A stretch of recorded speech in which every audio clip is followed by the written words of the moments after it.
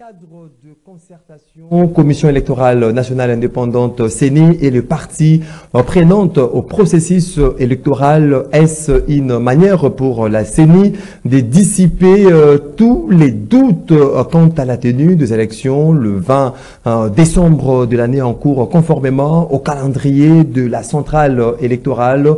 L'opposition politique congolaise à Pretoria en Afrique du Sud, la fumée blanche pour la candidature commune de l'opposition est-elle possible? On en parle, mesdames, messieurs, fidèles euh, téléspectateurs des canaux Congo Télévision, auditeurs de euh, la radio Liberté Kinshasa. Je me voyais déjà à la radio. On est ici à la télévision Canal Congo Télévision. Bienvenue à votre émission Zoom que j'ai l'immense plaisir de recevoir ce soir euh, monsieur Evariste Chiswaka. Evariste Chiswaka est cadre du parti politique Orange, cher Fuyun Auquel j'ai dit euh, bonsoir et bienvenue. Oh, bonsoir, euh, merci cher Maxime. Vous avez euh, obtenu déjà votre numéro de la députation nationale. Effectivement. Députation provinciale. Provinciale, je suis candidat député provincial à la commune de Lemba, dans la ville de Kinshasa. Bon, j'étais le numéro parce que c'est pas encore le moment. Le numéro de, pour la campagne électorale, c'est bientôt le 19. On, a, on attaque avec la campagne électorale comme euh, le prévoit les calendriers de la CENI. Oui, euh, ça nous vous pousse... Vous préparez euh, déjà par conséquent Ça nous pousse à féliciter le président Denis Kadima ainsi que tout le corps de la CENI pour cette lutte, pour s'être vraiment appliqué pour respecter le calendrier électoral et coup de chapeau à eux parce que jusque-là, nous voyons que les choses vont lentement et sûrement vers, vers, l'accomplissement de, de cette promesse des élections le 20 décembre. Et nous, en tant que parti orange, nous nous sommes préparés parce que les élections, on ne les prépare pas à la veille des élections, on les prépare depuis déjà quand il y a les premières élections en 2000, quand il y a eu les élections, j'allais dire, en 2018, dès 2019, nous avons commencé à nous préparer parce qu'on savait que le chef de l'État avait cette ferme volonté d'organiser les élections dans les délais constitutionnels. Dans les délais euh, constitutionnels, euh, Évariste Tchouaka, avant d'entrer vraiment dans les fonds euh, de thématiques des séjours, j'aimerais que vous puissiez placer un mot par rapport à la rencontre des galas qui a eu lieu hier au stade de Martyr de la Pentecôte entre les légendes du Football Club Barcelone et euh, le légende de léopard de la République démocratique du Congo, d'aucuns hein, s'est demandé est-ce que ce sont vraiment les légendes de Barcelone avec le visage euh, Ils n'ont retrouvé euh, personne hein, par rapport aux, générations 2000, 2010 ou 2011 qui ont presté au sein de ces clubs espagnols? personnellement, je n'ai pas suivi le match, mais c'était un plaisir de, de, voir euh, mon équipe, FC Barcelone, Ton équipe. jouait avec euh, ma nation. On s'est demandé si c'était des jardiniers de, de, Barcelone qui ont, matché avec le Léopard. écoutez, écoutez comment parler des jardiniers, de, de personnes qui avaient euh, une bonne qualité technique comme ça, bien que vétérans, mais ils ont prouvé de quoi ils étaient capables.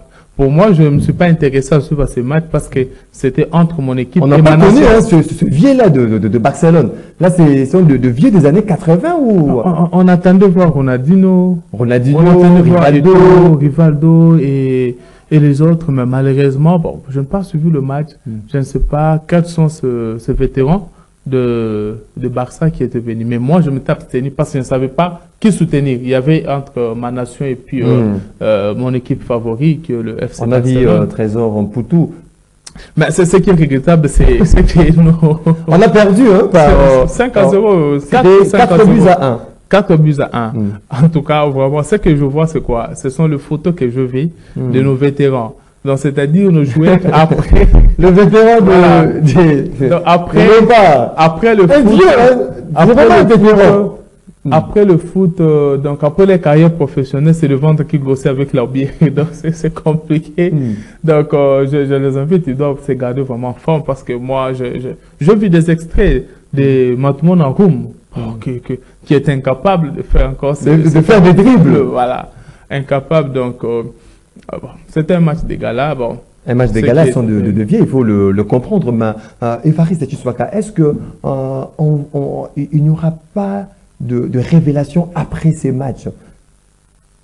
Par rapport en termes de finances, notamment parce qu'on a vu le jeu des francophonies euh, passer euh, avec euh, des écarts de millions de millions de dollars dilapidés qui ont qui ont dévié les circuits normaux, les traçabilités de, de dépenses. Est-ce qu'on risque pas de connaître le même sort qu'on a connu avec le jeu de la francophonie, avec ce match des galas organisé?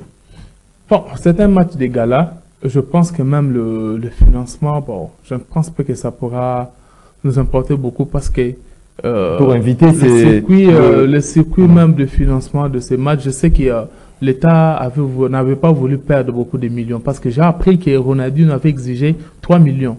Ronaldinho, 3 millions 3 millions hmm. pour euh, participer à ces matchs et bon, je pense que le ministère des Sports, euh, les organisateurs ont vu que c'était un peu de trop.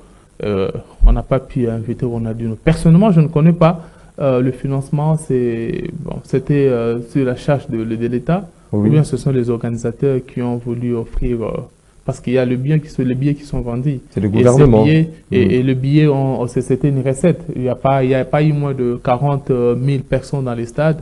Et le billet a coûté pas moins de 10 000 francs. Il y avait le billet de 10 000 francs, 50 dollars, 100 dollars. Et je pense qu'il y a eu quand même des recettes. Et je ne crois pas que euh, nous regretterons l'argent de la, du Trésor public. Sinon, félicitations hein, au part euh, euh, de légende de mm. la République démocratique du Congo. Parlons à présent politique Variste Tshiwaka avec ses cadres de concertation ouverts ou lancés ces jours par la CENI. Ça débute aujourd'hui, ça prendra fin mercredi. aujourd'hui, la CENI a reçu les candidats à président de la République. Pensez-vous que ces cadres de concertation et une euh, façon pour euh, la CENI de dissiper euh, tous les doutes quant à, à, l'organisation ou à la tenue des élections en décembre? merci, cher Maxime.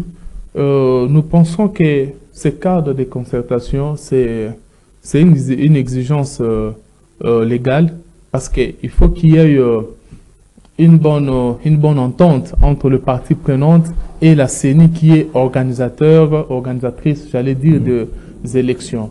Alors, euh, je pense que cet exercice qu'a fait la CENI, de concerter le parti prenant en commençant par le candidat président de la République, je pense que c'était un bel exercice et euh, en fait, parce qu'il y a eu beaucoup de rumeurs, il y a eu beaucoup de rumeurs, il y a des ceux qui croient, même les candidats, il y a certains qui croient que jusqu'aujourd'hui, euh, qui pensent qu'il n'y aura pas euh, les élections le 20 décembre. Alors, ces cas de concertation étaient très importants pour permettre euh, d'éclairer les zones d'ombre. Parce que ce qui s'est passé, c'est juste que le président de la CENI a essayé de clarifier les choses. Voilà d'où nous venons, où nous en sommes jusqu'aujourd'hui, et est-ce qu'il y a-t-il des contraintes qui peuvent faire que le 20 décembre, qu'il n'y ait pas élection? Et je pense que là-dessus, le, président de la CENI était très clair pour dire qu'il n'y aura pas report des élections parce que nous croyons que d'ici le 20 décembre, il y aura déploiement de matériel électoral partout et euh, que les candidats soient apaisés pour et se préparent efficacement pour la campagne qui va commencer très bientôt pour les élections qui auront bel et bien lieu le 20, le, 20 décembre. La CENI a encore rassuré, la CENI a encore confirmé qu'il y aura bel et bien élection le 20 décembre. Euh, est-ce que ce n'est pas une façon aussi euh, pour euh, euh, la CENI de dire que moi, on ne peut pas m'imposer quelque chose par qui que ce soit, parce qu'il faudra les, rappeler ici. Il y a eu dans un passé récent le candidat président de la République qui ont sollicité un cadre de concertation, les candidats présidents de la République de l'opposition qui ont sollicité ces cadres de concertation avec la CENI, mais la CENI n'a pas voulu le format sollicité par ces, candidats présidents de l'opposition. Bon, euh, écoutez, cher Maxime, euh, la CENI euh, organise les élections selon les délais constitutionnels. Donc, la CENI est tenue à respecter les délais constitutionnels. Alors, elle ne peut pas aller au-delà. Alors, s'il y a des accords politiciens qui peuvent avoir lieu, je pense que ce n'est pas la CENI qui va occasionner cela. Parce que la CENI a une mission et elle est en train de travailler pour accomplir parfaitement la mission qu'elle a reçue.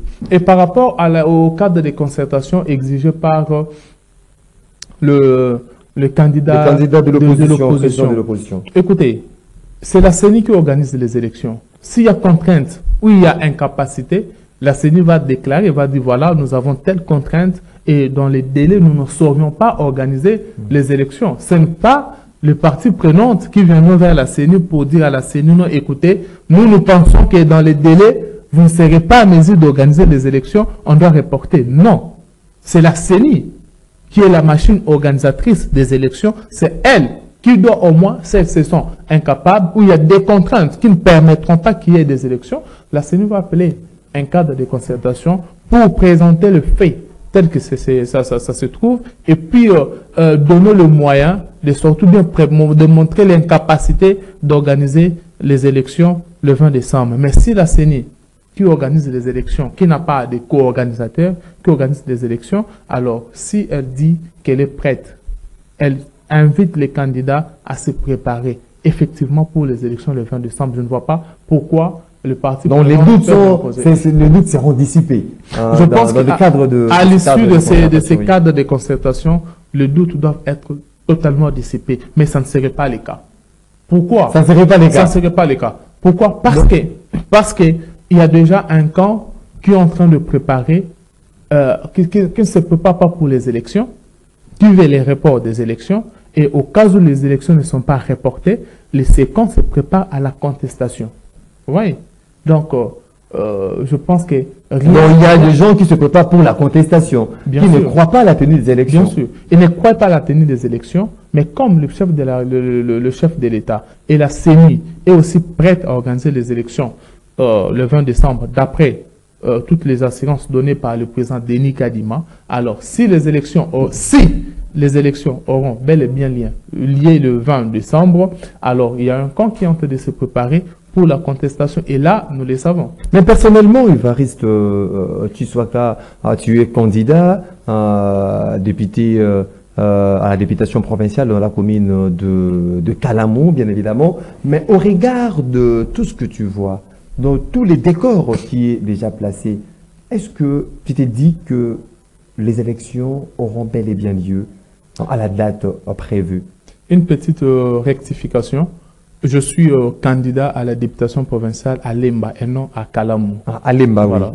Donc, euh, en fait, nous, le parti prenante, nous, je parle du parti orange, nous, l'Union sacrée, nous nous préparions pour les élections le 20 décembre. Et personnellement, en tant que candidat, je peux vous dire, on a des contraintes, peut-être financières, peut-être on n'a pas assez de moyens pour euh, battre campagne. Surtout les, contraintes techniques. Aujourd'hui, tu as vu le, candidat à président, euh, les candidats à la présidence euh, de la République euh, qui ont, formulé des inquiétudes, notamment lorsqu'ils ne voient pas des kits électoraux. Mais je répondais personnellement, je me préparais et je suis prêt pour les élections. Pourquoi? Parce que les élections, c'est une voie démocratique de passation de pouvoir. Et nous qui avons déplorer la gestion de la vie de Kinshasa par le gouverneur Gentini Ngobila. Nous sommes très pressés. Nous voulons vite voir Ngobila partir. Nous voulons vite voir cette assemblée provinciale qui n'a rien fait en termes de production, en termes de, représenter comme se devait la population quinoise. Nous voulons que ces gens puissent partir et que nous puissions occuper ces places pour parler au nom du peuple, pour réellement élire un gouverneur qui va travailler et améliorer les conditions euh, euh, euh, sanitaires, les conditions sociales de la vie de Kinshasa. Non, nous, nous sommes très pressés, nous sommes très prêts. Mais par rapport à l'organisation des élections, mm. nous, nous sommes prêts, nous sommes les candidats, nous sommes prêts. Mais c'est la CENI qui organise. Et je le répète encore, c'est la CENI qui va déployer le matériel. La CENI, si elle se voit incapable de faire le déploiement de matériel dans les délais, la CENI va nous le dire. Et nous allons trouver une solution politique. Une solution politique Bien sûr. Du, report. Si la CENI, je dis bien, si la CENI est incapable d'organiser les élections le 20 décembre, il y aura une solution politique. Mais au moment où la CENI, jusqu'à ce jour, nous rassure, aujourd'hui même, dans le cadre des concertations, la CENI rassure qu'il y aura élection le 20 décembre. Alors, Qu'est-ce qui doit nous mettre encore en doute? Nous doutions, oui, parce que Tout le matériel n'est pas encore déployé. Nous savons, nous tous, euh, la difficulté, le transport, comment joindre les différents coins de la République démocratique du Congo. Ce n'est pas facile. Avec euh, euh, Congo Airways qui est presque en faillite, alors nous nous disons, ça c'est pas facile. Mais la CENI nous rassure. C'est elle qui organise. Elle maîtrise bien les aspects techniques de ces déploiements que nous autres. Alors, si elle nous rassure, nous devons être confiants à la CENI. Et nous, nous sommes prêts pour les, les élections. vous êtes prêts pour, euh, nous sommes hâte pour aller aux élections. Prêts pour euh, les élections le 20 euh, décembre. Euh, Évariste Chiswaka, nous venons tous de, de suivre euh, les images de ce premier jour euh, des cadres de concertation initiés par la CENI. comment interprétez-vous ces accolades entre le président de la République, candidat, Félix Tshisekedi, et, et Martin Fayoulou, qui donc, pense que Félix est ennemi à Fayoulou, Fayoulou est ennemi à Félix Tshisekedi, mais on a vu euh, ces, salutations de, façon conviviale entre euh, le, les deux personnalités euh, Maxime, je dirais cette salutation affectueuse entre deux Congolais, que les gens croient des ennemis, mais qui plutôt sont des adversaires politiques, fait montre de la grandeur du chef de l'État. D'abord de Félix Antoine Tshisekedi. La grandeur, la maturité politique et cet esprit qu'il a toujours animé de l'humilité.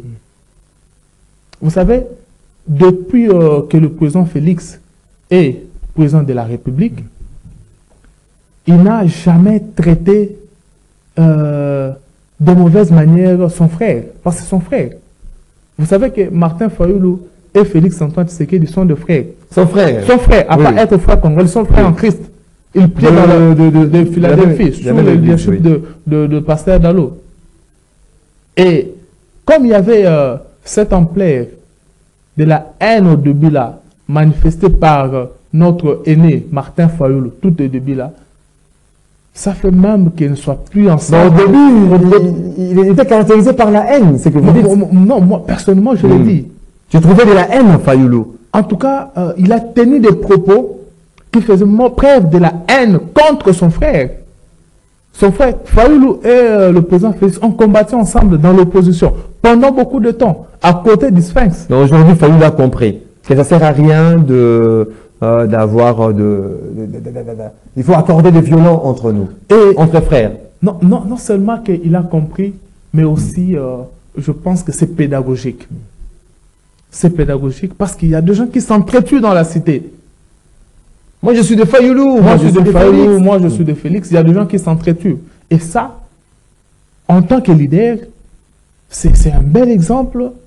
C'est une très bonne leçon pour que les gens ne continuent pas à s'entretuer.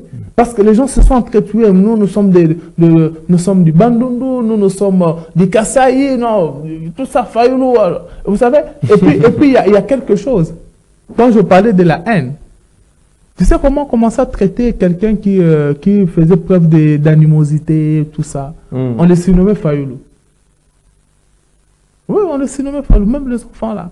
On les surnommait. Si quelqu'un faisait preuve hmm. d'animosité, de rancœur, tout ça, on les surnommait Fayoulou. Mais aujourd'hui, je pense que Fayoulou, euh, le président Fayoulou a, essayé de soigner son image pour montrer que nous sommes frères.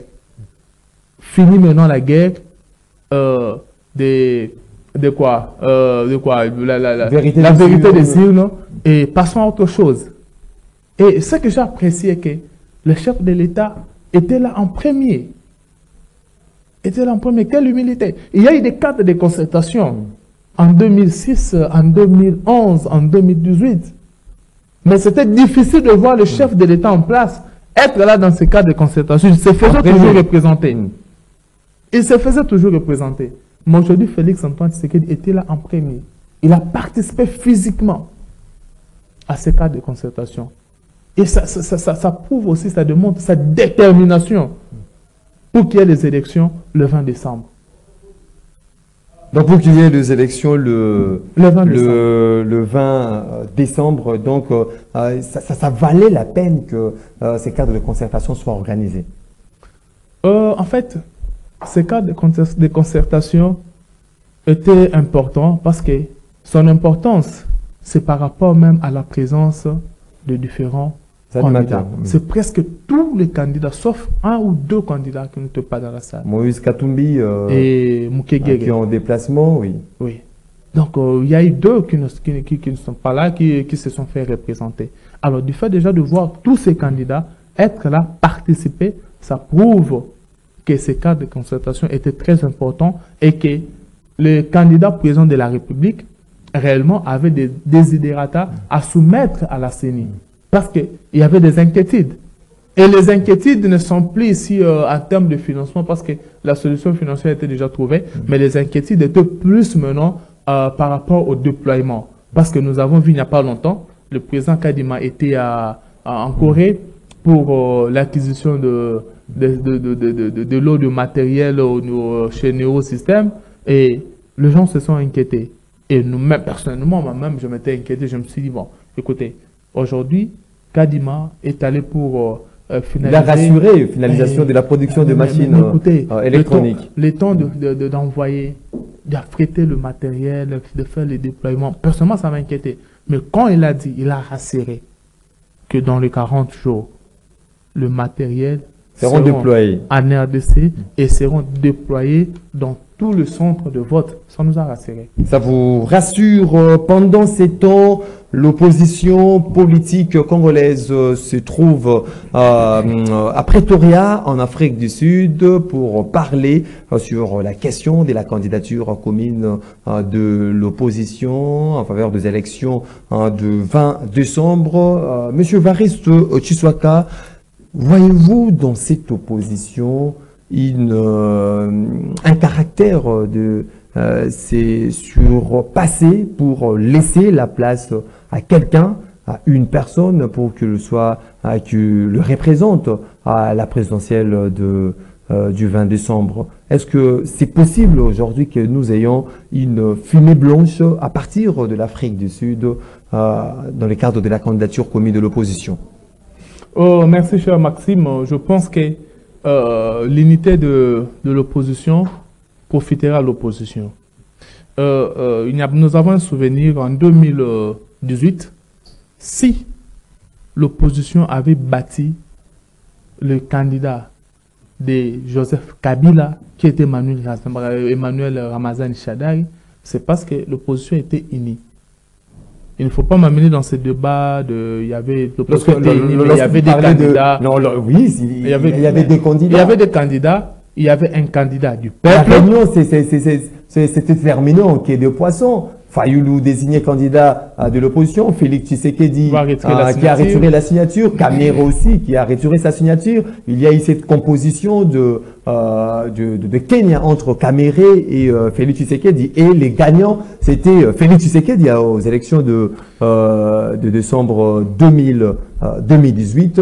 Est-ce que l'opposition aujourd'hui, lorsqu'on voit Martin Fayoulou, lorsqu'on voit Matata Pogno, on voit Denis Mukwege, Moïse Katumbi, Rex Kazadi, euh, Constant, euh, Mutamba. Euh, Constant est-ce qu'on voit en eux aujourd'hui ces caractères de laisser place à quelqu'un d'autre?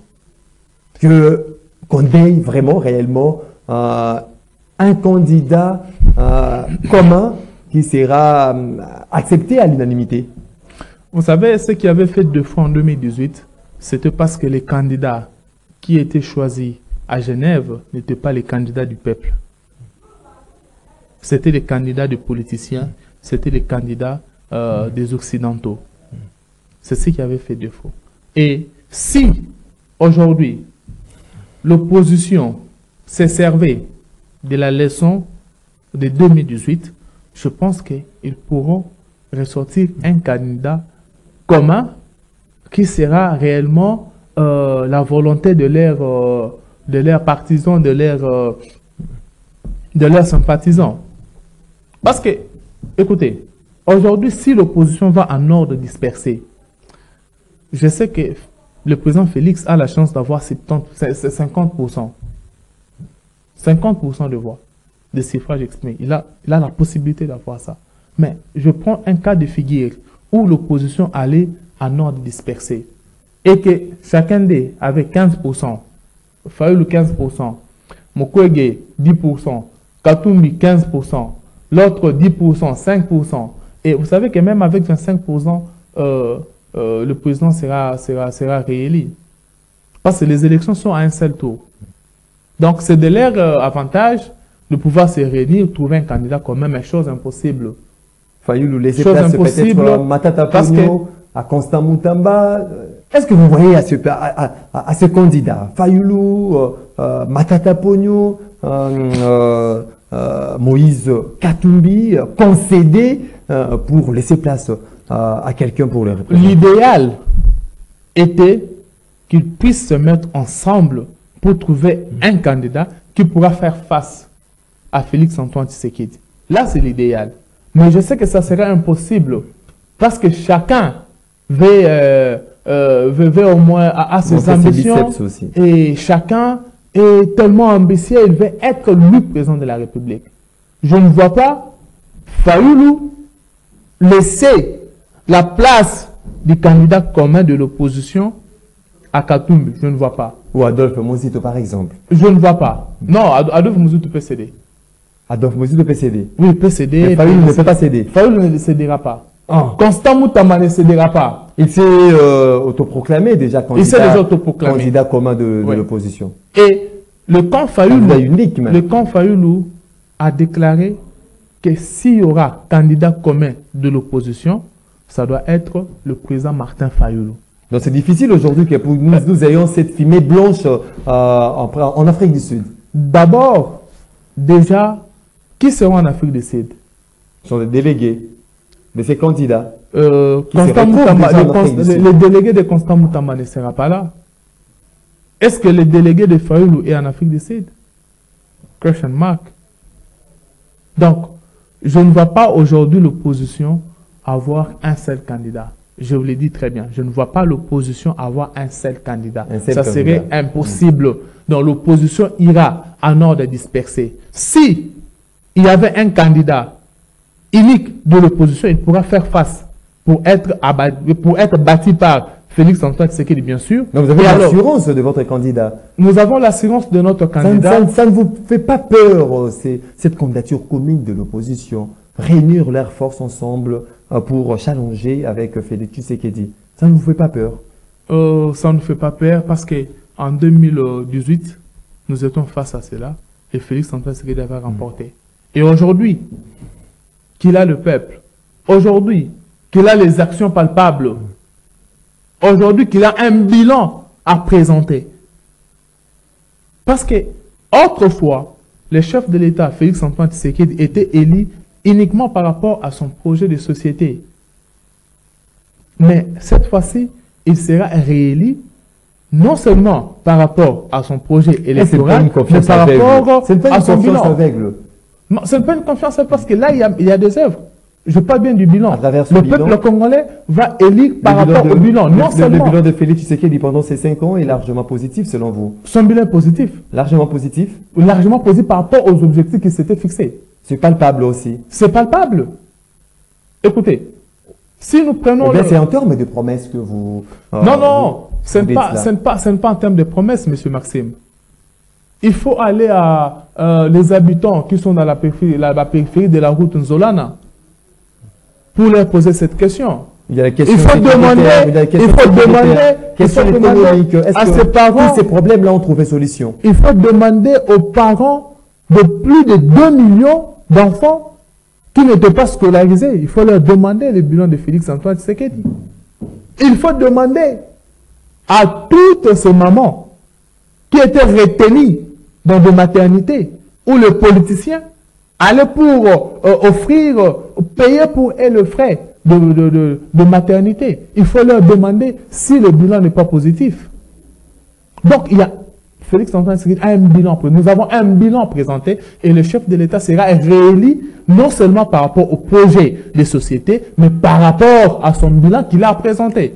Euh, Soka, nous sommes arrivés euh, euh, à la fin de cette émission. Donc, signal là, euh, le temps à nos parti a été déjà euh, consommé. Euh, Qu'est-ce que la population qui t'a suivi à travers le monde peut retenir à tout ce qui a été dit ici?